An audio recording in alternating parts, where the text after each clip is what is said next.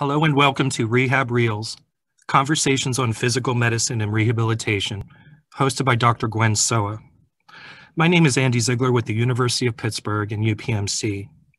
I'd like to welcome everyone joining us today for a special presentation on rehabilitation and medical complexity during COVID-19 with Dr. Debbie Tan. You may submit questions for our presenters through the Q&A feature on your screen. We will do our best to get to as many questions as possible during the allotted time. Our series host, Dr. Gwendolyn Sowa, is the endowed professor and chair of the Department of Physical Medicine and Rehabilitation at the University of Pittsburgh School of Medicine and is the director of the UPMC Rehabilitation Institute. She holds joint appointments in the departments of orthopedic surgery and bioengineering and has served as a clinician scientist in the Department of Physical Medicine and Rehabilitation for over 15 years. Our featured guest is Dr. Debbie Tan. Dr. Tan is Medical Director and Section Chief of Rehabilitation Medicine at UPMC St. Margaret, an Assistant Professor at the University of Pittsburgh. She was born and raised in Manila, Philippines, where she studied physical therapy and medicine at the University of Santo Tomas Hospital, and she completed her PM&R residency and fellowship in spinal cord injury with the University of Washington Medical Center in Seattle. Her clinical interests include neuro rehabilitation, spinal cord injury, traumatic brain injury, and stroke rehabilitation. And she has been overseeing the rehabilitation of COVID 19 and medically complex patients at UPMC St. Margaret.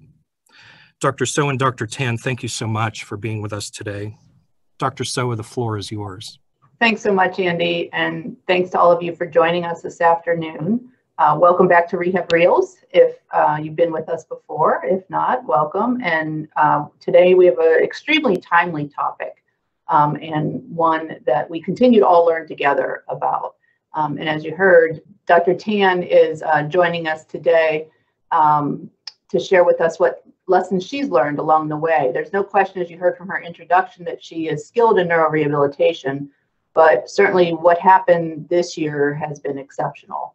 Uh, she, like others in our field, were thrust into care of an unknown disease uh, with unprecedented impact on our patients, their fam- her families, and, and our society. Um, no question, her calm leadership and clinical excellence has allowed her to adapt to care for these exceptionally complex patients who present with new constellations of symptoms and challenges to their function, all while at the same time reinventing the way we provide care in, in terms of new safety measures and protocols.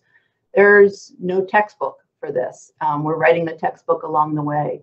And so we've been so thankful to have her on our team um, and, and to provide the clinical excellence that she has provided and share with us today some of the lessons learned along the way as we continue to navigate this pandemic together. Dr. Tan. Thank you, everybody.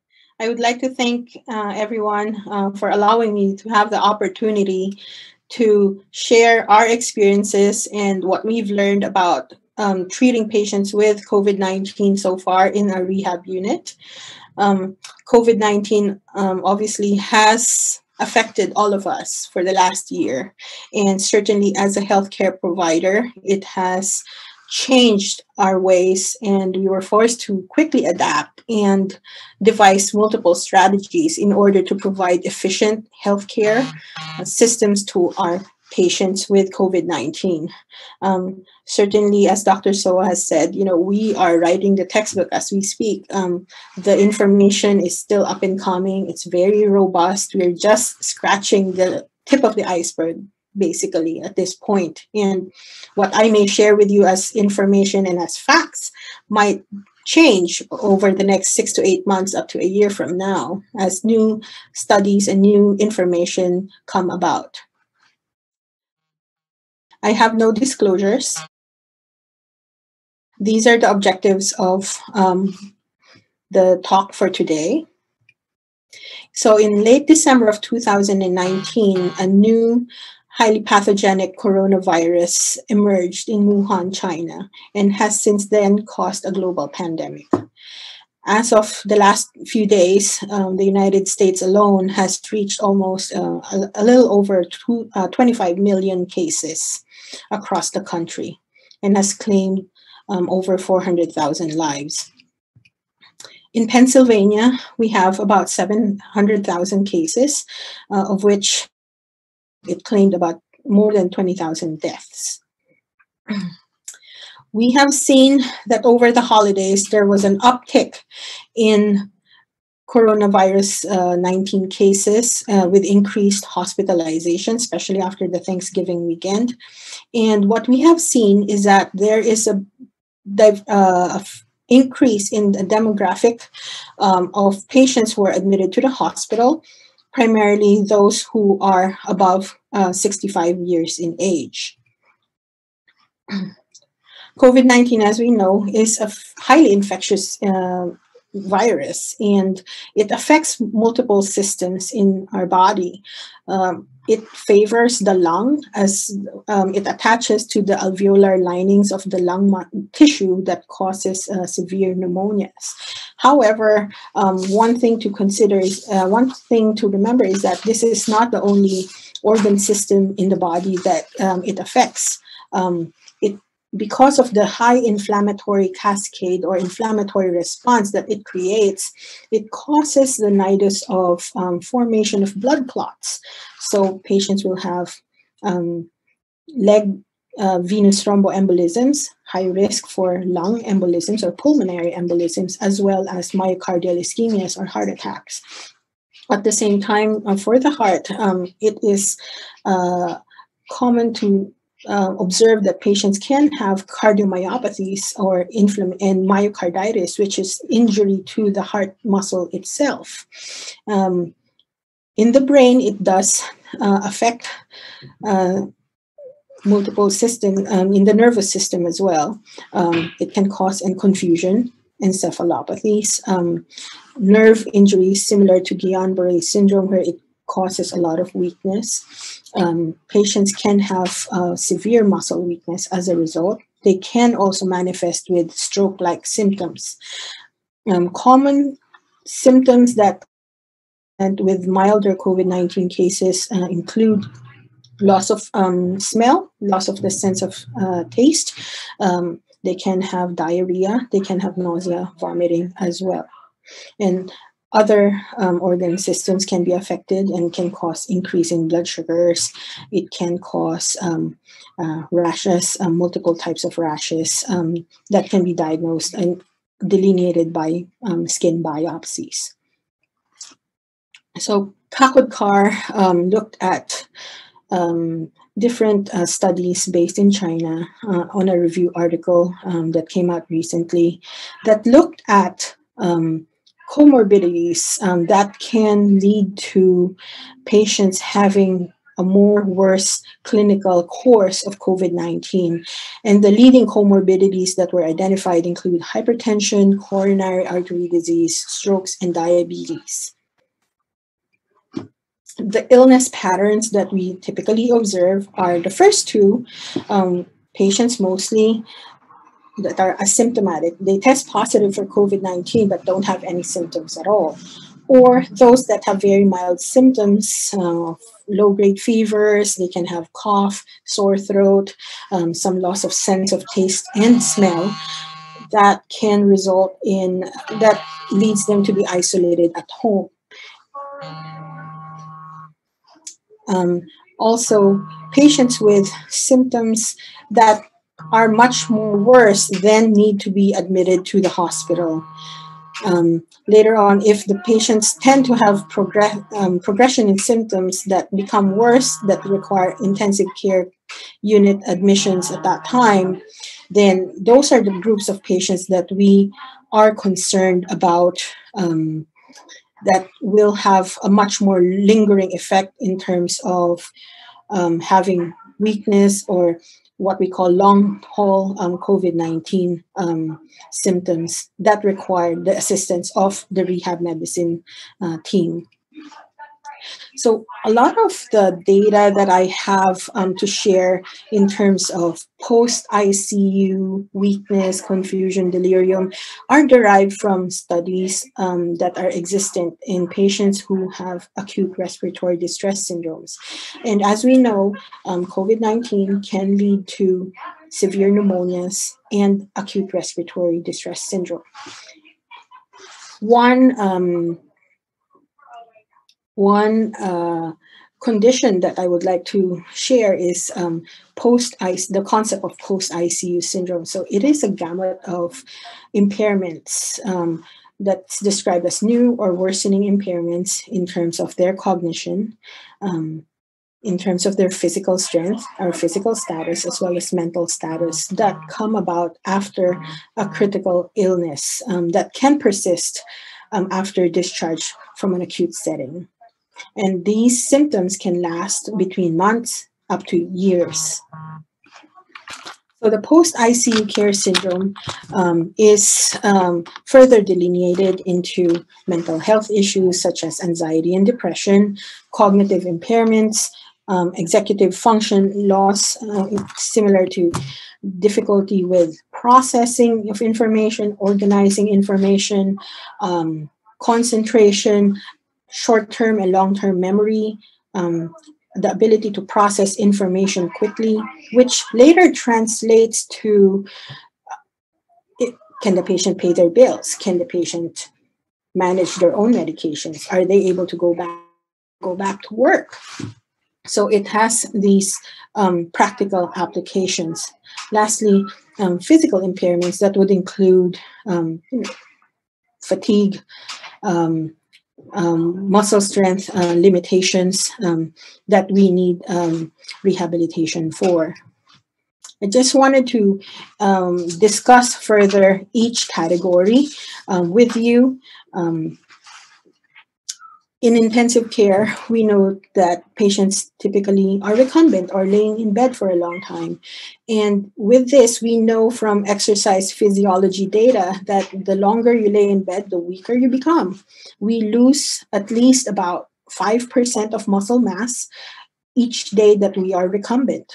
And um, that doesn't help. It makes the patients weaker. And if they're at baseline um, are not physically active, then the tendency for them to have a very quick decline in terms of their strength and muscle function is much more prominent. Um, the use of steroids certainly does not help. Um, steroids are utilized in uh, patients who have severe sepsis or shock. Um, steroids also in COVID-19 has been utilized um, to try to reverse or shorten the duration of severity of infection as well as the use of paralytic agents um, for patients who require intubation or um, respirator use um, tend to require the use of paralytic agents, which can lead to muscle weakness. Two concepts that I want to share is um, critical illness um, polyneuropathy and critical illness uh, myopathy. Sorry, critical illness polyneuropathy is a condition where um, the patients will have significant impairments in their nerves affecting the motor nerves, meaning the nerves that control movement and also the nerves that control sensation. In contrast, critical illness myopathy is a condition where you will have severe weakness of the muscles itself. To further distinguish them clinically, you will be, you need to, oops, I'm sorry.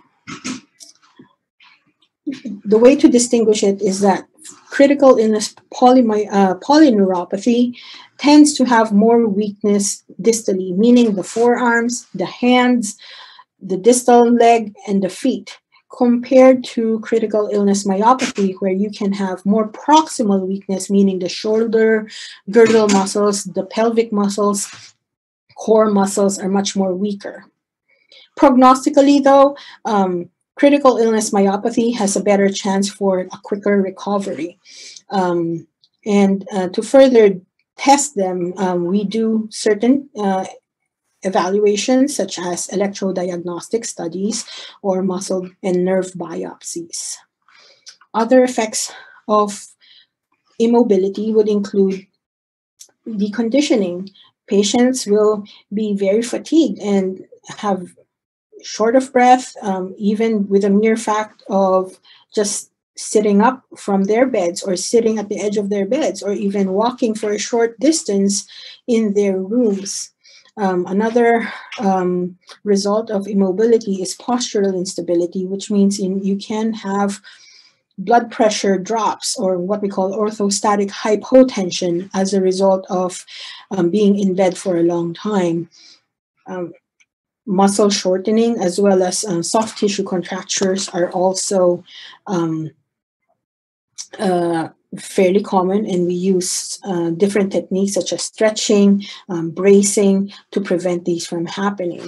And lastly, uh, one key thing to remember is that if you leave a patient laying in bed for a long time, they are at a higher risk of having pressure sores or wounds around their backside, around their hips, their ankles, um, their neck, uh, their occiput or the back of their heads. Those that are in contact with bone uh, with bony prominences that can put a lot of pressure when you don't turn or re reposition your patients from time to time. Now, I want to talk about um, the concept of proning. You probably have seen patients or have heard patients being proned. So this is just a diagram of a patient that has been proned. So why do we do this? Um, critical care uh, societies uh, over the world have been recommending proning uh, for patients with severe acute respiratory distress syndrome. This is to improve gas exchange in all the lung tissue to improve um, ventilation or oxygen exchange. And this, in relation, has resulted in improvement in overall uh, decline in uh, mortality rates. Um, one big study um, that came out of the New England Journal of Medicine in 2013, um, the PROSEVA study that came out of France, um, looked at um, about 466 patients who um, were grouped into two groups. One, those that were left in bed just supine, laying down flat, and another group that had to be prone for about 16 hours a day. And what they found is a significant decrease in uh, mortality of about at least 50%. And we know that now, with the advent of um, COVID 19, uh, related pneumonias and ARDS, there is now an ongoing clinical trial that's actively recruiting patients, looking at uh, the data of um, patients who are prone for 16 hours versus 24 hours. So the data will certainly come out um, pretty soon. Um, they're recruiting patients at least until um, 2022. Um, obviously, proning does not come without any side effects. So as you can see um, in this diagram, you know, nerves that are superficial, that are close to bony prominences, the common peroneal nerve or the fibular nerve, the ulnar nerves, um, can easily um, have um, compression in, can have compression injuries. More so, in more profound injuries, patients can have um, brachial plexus injuries as a result, or sciatic nerve injuries. You can also have shoulder pain as a result of shoulder dislocations or subluxations. And if you can imagine, if they're prone for 16 hours a day, you can uh, have some shortening of different um, muscles um, as a result and can lead to contractures. So Malik in 2020, just in September, they came uh, out with a paper that reported or described um, 12 cases uh, amongst um, 83 patients that were admitted in uh, Chicago in a rehab hospital between April to June of 2020 who were diagnosed with um, peripheral nerve injuries after being prone for ARDS in relation to COVID 19. 92 patients were prone, and the injuries were correlated with um, edema or swelling, resulting in compression of the nerves. The majority of the nerves occur in the upper arms, and in worse extents, it involved the brachial plexus, which is the network of nerves coming out of the neck, going down uh, to um, innervate all the muscles of the upper arm. Um, we actually had two cases in our UPMC system that came across us who had um, brachial plexus injuries as a result of proning due to COVID 19 related um, respiratory distress. And our residents actually wrote up a paper um, describing those um, clinical cases. So the second category um, that I wanted to share is and discuss is the um, the issues of delirium related to prolonged ICU stays. We have found that um, up to 80% of patients in the ICUs do have um, some form of delirium and confusion. And patients who are generally older um, who have multiple comorbidities such as strokes, heart disease, diabetes, hypertension tend to have much more worse outcomes. And cognitive impairments, although they are present in majority of the patients at the time of discharge from the intensive care unit tend to get better over time although about 20% still have about ling- uh, about some lingering symptoms a, uh, in 5 years so, how do we uh, prevent pre- uh, delirium? Um, the Society of um, Critical Care Medicine uh, devised this A, B, C, D, E, F um, concept. So, we A meaning assessing for pain, preventing pain. How do we manage pain? We use different strategies, if possible, um, avoiding narcotics, um, which can uh, further worsen delirium. B, um, both spontaneous awakening and breathing trials. So, patients who are on a ventilator, typically what they do is something called sedation vacation, basically turning off the sedating medications that the patient has to see and assess if the patient is alert enough, if they can follow commands and be able to participate in a ventilator weaning um, strategy or program at that point. C is the choice of sedation. You want a sedative that is fast acting, but also um, is metabolized quickly, that it wears off quickly. So, one um, sedative that they typically use is propofol. Unfortunately, it fell out of favor um, or had a bad connotation because of misuse of certain individuals. Um, D, meaning uh, is delirium monitoring and management. So we use different strategies. Um, such as improving the circadian rhythm, making sure that the patient has a semblance of night and day by opening up the curtains or pulling up the blinds uh, when it's daytime, and then turning down the lights when it's nighttime to um, simulate that sleep wake cycle. At the same time, reorienting the patient of what day it is, what year it is, um, to let them know what is going on and um, provide feedback uh, to the patients as well. Obviously, there are some medications that we can utilize to help with delirium and agitation as well. The fourth category is early mobilization and exercise. Um, I will um, expound on this concept later on, but this is where the rehab team can provide the biggest impact for our patients. As we know, early mobilization strategies have decreased uh, overall ICU stays and has decreased. Lastly, family engagement and empowerment.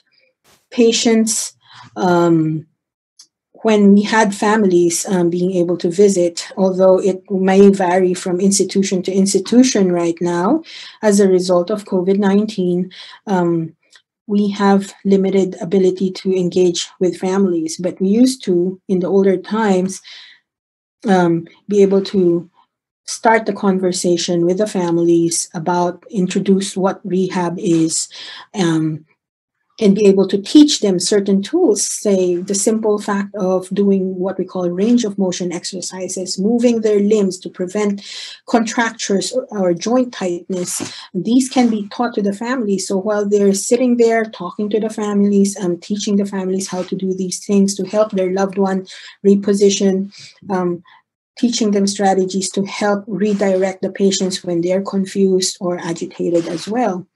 And this creates um, a very good um, relationship between the rehab team and um, the family in general and the patient. So mental health also suffers as a result of being in the ICU for a long time. It was noted that you can have depression, post traumatic stress disorders, as well as uh, anxiety affecting survivors up to about a year. Um, and it is noted that with pandemics, it is associated with a high level of emotional distress. This was described um, during the SARS pandemic um, in the uh, in 2010 uh, that came about in Hong Kong, but also true that what we are observing now in patients with COVID-19. So the level of isolation, social interactions that are limited due to um, separation from families has been very challenging. And part of it is, you know, we are trying to limit um, um, exposure to families, to patients, but also, you know, the healthcare system being overwhelmed and overburdened in the sense that our staff are stretched thin because of the sheer amount of patients that are in the hospital, that the case contact, the limit of contact between the healthcare provider and the patients are pared down to the bare essentials. And you know there's no rapport that is being established between the care provider and the patients already. So rehab as a as a role um, is a, you know the role of rehab is a patient-centered approach um, to address all the impairments of our patients um, as a result of um, the COVID-19 um, uh, impairments. And the hope is that this patient-centered strategy to, with the help of the allied medical professionals, including the therapists, the physicians, the nurses, um, the neuropsychologists, and everybody on the team, especially and including the family and the support system of the patient, we will be able to help the patient be much more independent and be able to maximize their opportunities and be able to reintegrate hopefully in society in a meaningful way and regardless of their new functional baseline i actually had a patient who had um, significant weakness in his arm but lo and behold several months later after leaving home he sent us a postcard that he started driving his camaro which is a little concerning at first but we went with it. we were happy that he was able to go back to have some semblance of normal um, after leaving the hospital. So I want to walk you through the process of rehab, how rehab starts. So we do start in the hospital, in the acute care setting, in the ICU or in the step down unit, followed by transition to a rehab, a more dedicated rehab program um, with inpatient rehab or skilled rehab. And once they're ready to transition home, we order home care or home health care uh, to provide rehab inside their homes or um, directly to outpatient or a graduated in a graduated fashion they start from home and then translate to outpatient therapies um, one key thing that I wanted to share is the rehab process at St. Margaret's and how we have shifted, uh, we had a paradigm shift pretty much after we learned new information on how to treat patients with COVID 19. Um, we start with acute care rehab, same thing with a step down unit. And then once they're identified as rehab patients, we then um, plan to bring the patients to the inpatient rehab unit. In the summer, we knew months, months before that we thought that we have to do what we call a test-based strategy where patients need to have two negative COVID tests before they can come to the inpatient rehab unit. Now, the problem with that is some patients keep on testing positive, even 10, 20 days out. And that has created a big backlog of patients who are in the hospital because they cannot move to the next level of care.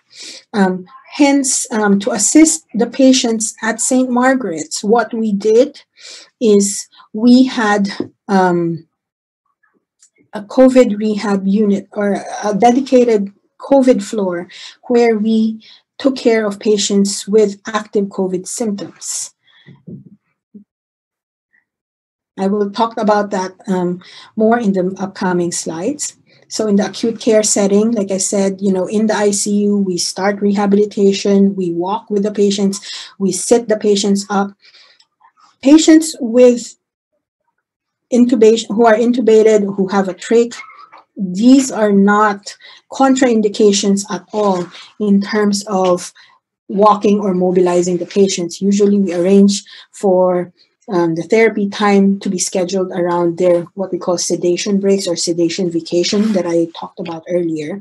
And we walk, we arrange and um, correlate these times with the respiratory therapist, with the nurse, and they mobilize the patients together with, with our therapists. Um, we teach the fa- families, like I said, um, range of motion, positioning techniques to prevent uh, further um, decline in function. And we know from um, ICU literature that um, early active mobilization um, is associated with decreased length of stay, improvement in uh, outcomes post hospitalization. And this is a slide that pretty much um, outlines all the benefits of um, early mobilization in the ICU. So duration of being on the ventilation is less. Um, cost is definitely less. There is a shorter length of stay, and you know effects such as delirium sedation is also significantly lower. So, as I've said earlier, the challenge of having a dedicated um, COVID 19 inpatient rehab unit is still um, based on how we treated our patients back in the summer is based on the advice of information from the CDC, from our own hospital administration's infection control team, as well as with the Wolff Center. Um, at that time, when patients are still testing positive for COVID 19, this was way back in the summer. Um, we had to treat these patients only in their rooms. And that obviously will translate to limited abilities to do uh, treatments for these patients. Imagine you being confined into a small room and needing to learn how to walk, how to get dressed, how to move about up and about. You are we have been having challenges in terms of improving um, cardiopulmonary status, their endurance, because we are confined in the, the room itself. We had a dedicated team of um, therapists that have been working with them um, who have the proper PPEs and have been treating all these patients. There is no commingling of staff. They're not allowed to go down to the gym or into the common spaces. So they're basically locked in their rooms, which has made our therapists much more creative in terms of providing a therapy plan for those patients at that time. And this is a perfect example where there is a paradigm shift in terms of how we provided care for patients with COVID 19. Um, a few months later, um, we now know that even if a patient tests positive, um, several days or several weeks after um, their initial infection, it doesn't mean that they're infectious at that point. Um, as of now, we moved from a test based strategy to a symptom based strategy um, to treat these patients. So, patients now, um, as long as they don't have any symptoms, we keep them in isolation in the hospital for about 10 days. Then, once that's clear and they don't have any symptoms um, or medical issues and was deemed by the infection control team that the patient is COVID 19 recovered, we then transition them to the inpatient rehab unit. And at that point, we still observe the guidelines as recommended by the CDC um, and the hospital and the infection control team, you know, wearing a mask, uh, social distancing, um, limiting the number of patients in the gym, in the hallways whenever we do therapies, and equipment is wiped down and cleaned thoroughly after each patient's use. At this point, family training can occur. So common issues that we try to manage in uh, an inpatient rehab unit. So some patients who still have respiratory symptoms, uh, who have a tracheostomy, um, we work with the um, pulmonologist to have a plan whether the patient can be decannulated. Some of these patients, like I said, will have severe pneumonias to the point that they will still have respiratory issues, their ability to cough, is mm-hmm. impaired. Their ability to um, breathe on their own sometimes is impaired. Um, they might need oxygen supplementation or medications to help them breathe better. Um, they're commonly they commonly can have swallowing dysfunction as well. And uh, with the help of uh, the speech and language pathologist we provide strategies on how to make them be able to sustain their nutrition at the same time provide them with a way to swallow safely. So cutting up their food or do they need a more thickened liquid before they start drinking thin liquids or water based consistencies? Um, Next, would we would address agitation, orthostatic hypotension, or drops in blood pressure by giving medications to help boost their blood pressure up. Um, we use non-pharmacologic strategies such as putting on um, stockings or what we call TED stockings to help uh, compress um, some of the nerves and blood flow. In the legs, we put an abdominal binder to increase intra-abdominal pressure to prevent significant blood pressure drops as well. One thing that I've noticed in our patients who came uh, to rehab after a prolonged uh, hospital stay in the ICU, they have a lot of sleep disorders. And, you know, when you're in the ICU, you have all the machines beeping all, all the time, and that can really disrupt sleep. Um, so we have utilized certain medications to help with sleep. Um, melatonin is very common. Some other medications we utilize, um, we pick depending on what the patient's needs are. Do they need a medication both for sleep and pain, or sleep and you know um, stimulating their appetites, um, or to quell their anxiety. So we try to judiciously manage them with uh, as little medications as possible or medications that can have multiple effects or benefits for our patients. Obviously, wound management is one of the things that we uh, that is in our practice realm, as well as prescribing certain um, braces to help with joint contractures. Then comes discharge once the patient is um, ready to go home, we looked at uh, patients what they have in terms of um, symptoms, uh, persistent symptoms post COVID 19. Most commonly, they can have symptoms of fatigue, dyspnea, and joint pains even up to two months after being in the hospital. Um, Self reported symptoms. I credit this slide to Dr. Gutierrez.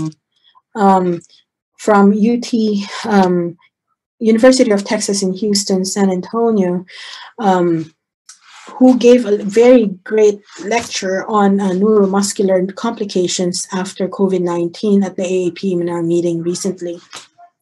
This is a collection of data of self reported symptoms from a group of patients who formed a Facebook group, I guess, that had um, long haul covid-19 symptoms. And we they were able to identify that you know fatigue is very common. You can still have muscle aches and pains um, weakness anxiety memory and cognitive impairments as well.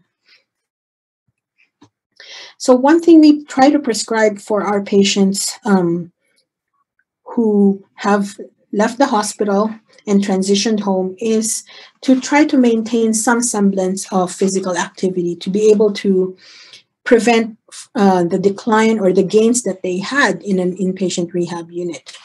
Um, so the uh, common um, recommendation is to try to engage in some form of low intensity exercise, which can vary from, you know, walking, um, brisk walking, use of a stationary bike, um, yoga, um, lightweight training, as well as swimming. Um, in China, it has reported that patients go back to uh, Qigong or um, doing uh, Tai Chi. Um, and this will improve balance at the same time, improve muscle tone, um, as well as some form of weight training where patients are advised to only increase resistance by 5 to 10% at a time. And if a patient is uh, very fatigued or has low um, energy levels, uh, we can always advise them to um, try to space out um, intervals of exercise or provide um, some form of rest period in between exercise activities um, as long as they're consistently able to do some form of exercise it will be very helpful so because of the advent of the long-term or long-haul post-covid symptoms uh, comes uh, came the advent of um, the concept of a post COVID nineteen disciplinary clinic. This is a clinic, hopefully.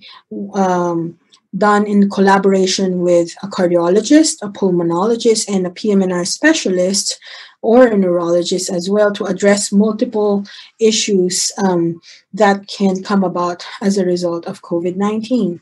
And um, there are some institutions already in the country that have begun um, such initiatives um, to service or provide care for patients uh, who are COVID 19 survivors. I know in UPMC that there has been or there is a similar initiative um, in the pipeline to have uh, a similar clinic to provide uh, similar care.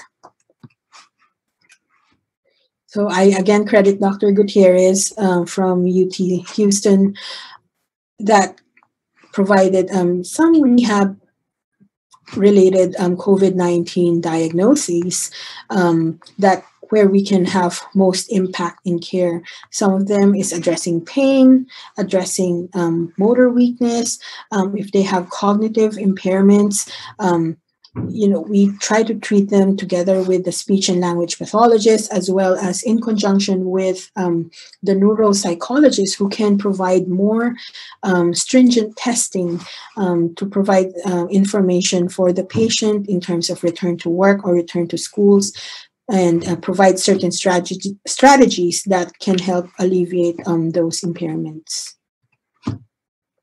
Lastly, um, some of the lessons we learned from um, taking care of COVID 19 patients.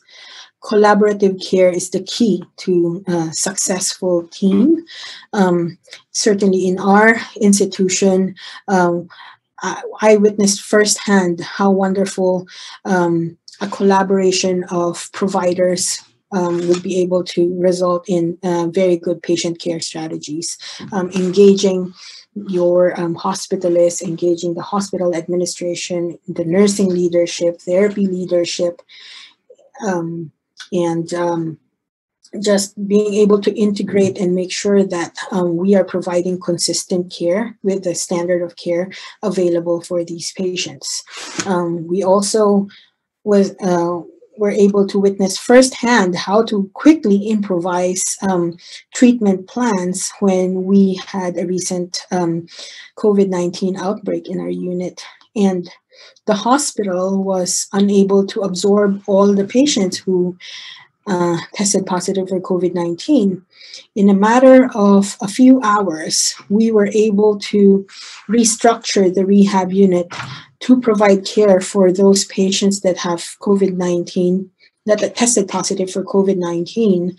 Um, and we just took care of them. Um, we only transferred off patients who require an escalation of care, including respiratory support. But those who have very mild symptoms, we took care of them here until they were able to discharge home safely. We tried to do, we did that as well as we took care of those patients who may have been exposed but do not have any positive symptoms or did not test positive for COVID 19. And it took um, a lot of effort and um, really strong collaboration from all the uh, care disciplines in the hospital to make this successful. Um, in doing so, because this is very new to a lot of our, our staff, you know, staff are scared, but um, providing them with the proper education, support, information on how to keep themselves safe so that when they go home to their families, they are safe, um, that they're not going to spread um, COVID 19 to their loved ones is very important. And providing an environment where we made sure that the staff felt heard, that there, we provide emotional and psychological support um, in a very stressful environment was very important during that time.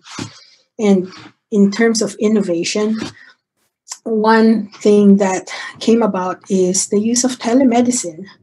Um, telemedicine has been available, but has been underutilized for many years. Mm-hmm. Um, certainly, in not much utilized in our specialty. Um, I think the dermatologists use it a lot. Um, the uh, providers at the VA hospitals use it a lot to, for patients who have limited access to care. But now, because of the need to conserve um, PPEs, the need to limit um, patient exposure so that the patients can feel safe but still get um, quality care, the use of telemedicine has been much more robust. And lastly, um, engaging the families um, for training to get their buy in, to start training and anticipate what they will need to expect or what they need to deal with in terms of discharge, in terms of going home. How are they going to take care of their loved ones? That is going to be very important in terms of transitioning the patient from a hospital based setting in the rehab unit to um, successfully reintegrating back home. And that's all I have for you.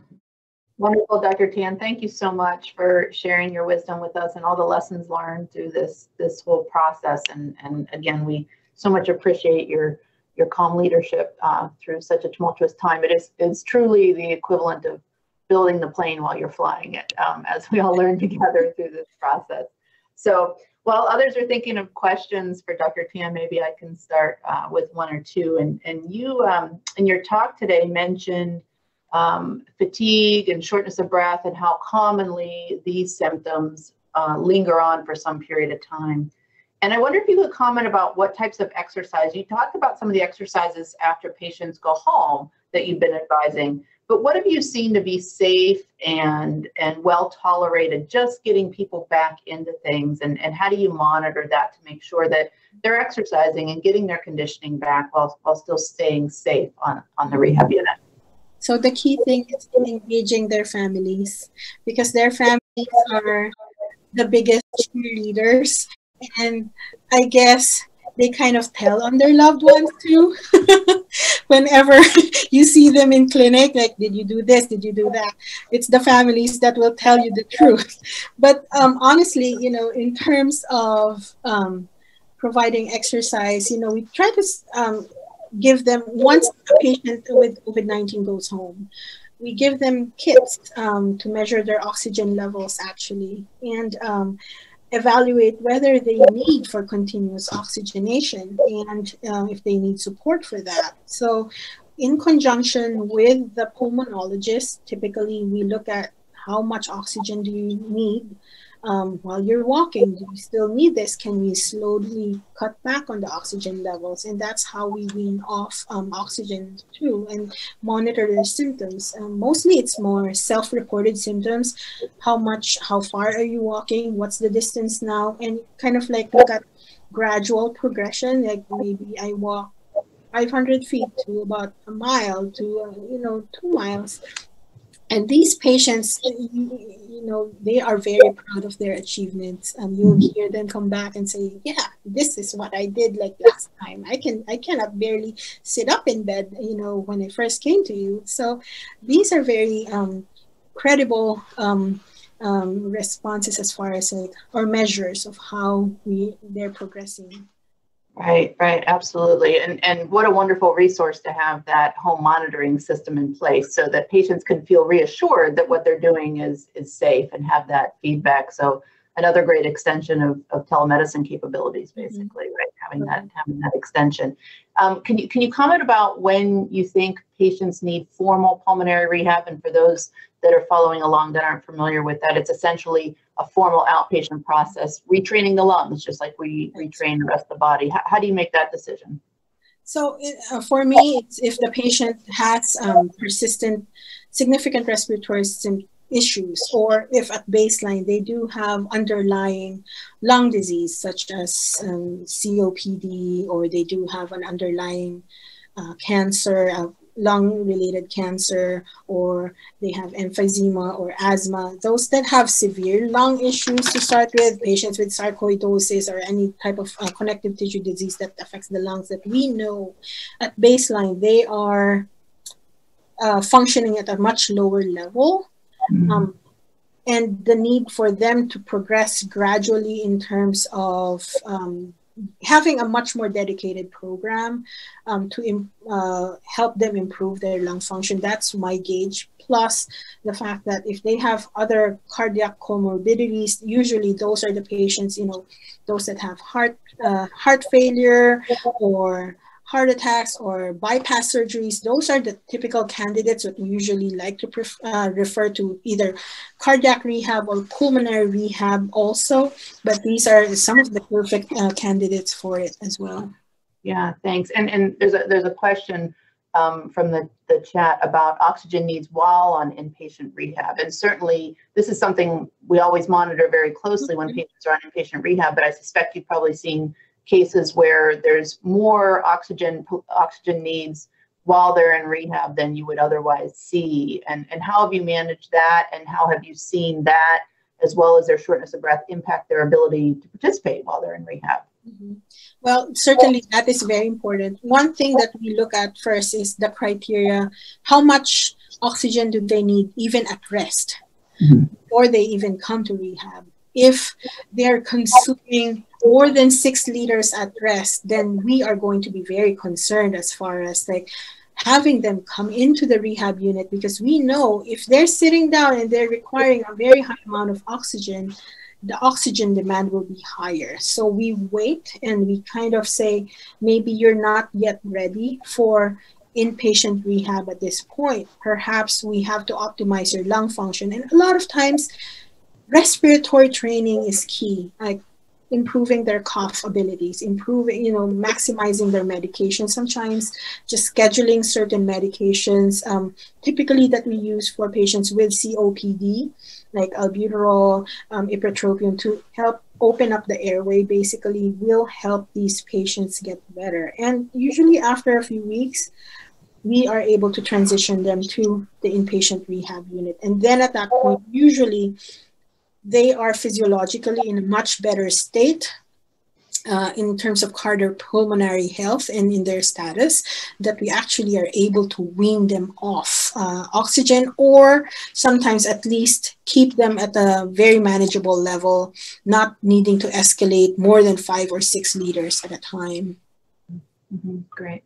So maybe we could shift gears for a moment and talk a little bit about he touched on family directed physical therapy and, and how impactful and helpful that can be, even with simple range of motion techniques and things like that. So, there's a question um, from the audience about would this be helpful in patients with, with sepsis or even while they're still experiencing delirium?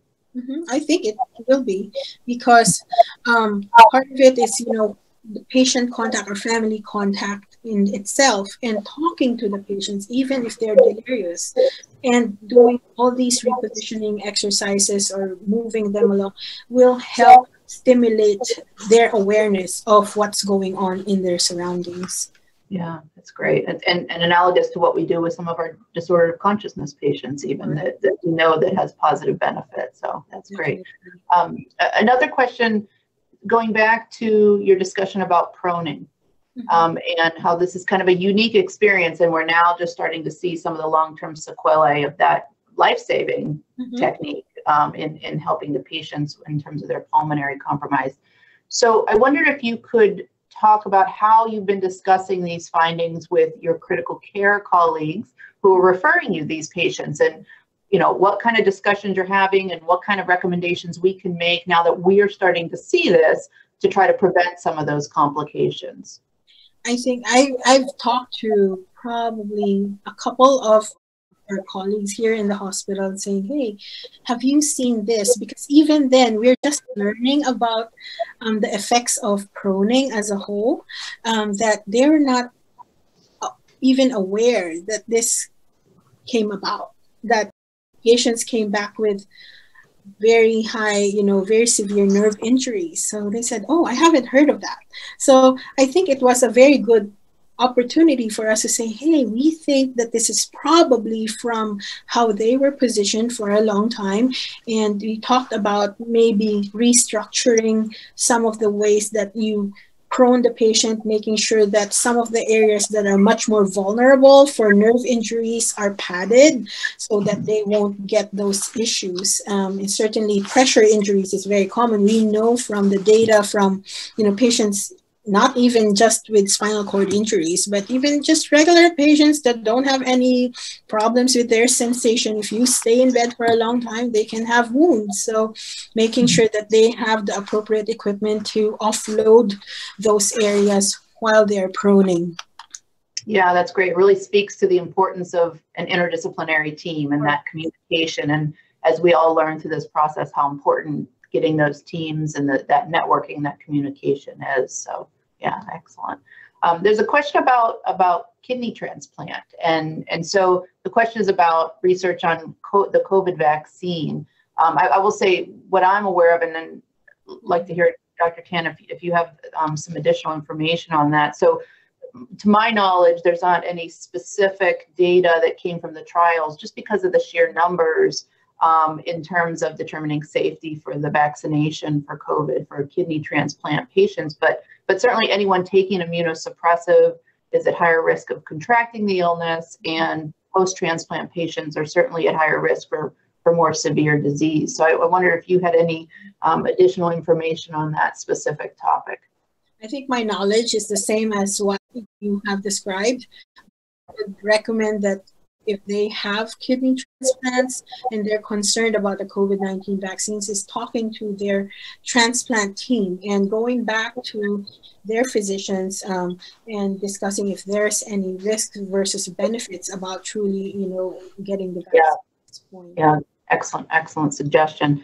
Um, so, with just a few minutes left, maybe I can end with one last question, and that is asking you to get out your crystal ball on this. Right? You talked about some of the some of the challenges that that we're seeing in persistent symptoms and what people are now terming long haulers, people that have long-term symptoms much after the infection has abated and, and some of the symptoms have, have gone away, but still some persistent symptoms. Um, can you make a guess or surmise what you might think we expect to see long term? Um, you know, certainly, for example, we as physiatrists have taken care of post polio patients mm-hmm. our entire careers. Mm-hmm. Um, what, what do you expect to see in the post COVID era when we get to that point in, in terms of long term effects that you think we might be um, seeing and treating for the foreseeable future? I think for those with severe peripheral nerve injuries, tend to have more long-term impairments. Um, those patients who do have some reversible muscle weakness or myopathies, certainly the prognosis is much better. I would expect in six months to a year's time, they should be able to regain all of most of their function, but certainly those that have critical illness, polyneuropathies or nerve injuries that are very severe, those are the ones that we anticipate will have long-term issues down the road. Yeah, yeah, thank you. Thank you. So much more to come, much more research needed, much more clinical care needed. So, so thank you. Thank you so much for, for sharing your expertise um, and your experience with us today. It's, it's uh, very, very important, very timely, and, and we'll continue to learn together. Sowa thank you very much. Thank you. I'll turn things back over to Andy to wrap up for us this afternoon. Dr. So and Dr. Tan, thank you so much uh, for an excellent presentation and discussion. Very much appreciated. For anyone who uh, had a question we were unable to get to, or if you would like to learn about ways to support the initiatives of the Department of Physical Medicine and Rehabilitation, uh, please contact me at raz37 at pitt.edu. Uh, Dr. Sowa, Dr. Tan, thank you again. And everyone who joined us, please be on the lookout for future sessions of Rehab Reels. And I hope everyone has a good evening.